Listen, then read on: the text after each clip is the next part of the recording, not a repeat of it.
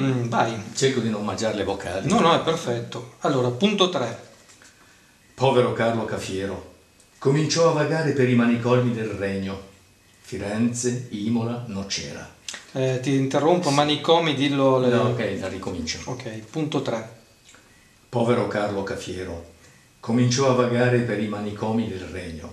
Firenze, Imola, Nocera. Lui che si era proposto di spendere tutto il suo a pro degli altri, lui che aveva gettato il guanto di sfida alla vecchia società borghese, era diventato pensieroso, cupo, ipocondriaco e la famiglia sua, reazionaria, lo fece interdire.